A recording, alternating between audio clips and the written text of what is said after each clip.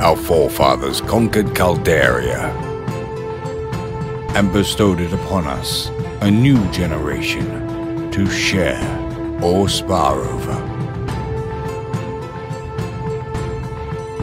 Our great houses seek to obtain the Emperor's favor, cultivating our lands and subjects to improve and enrich the realm. Beginning with ourselves, of course. Prominence can be secured through strength as well as delicacy. Will you be able to build your legacy of power?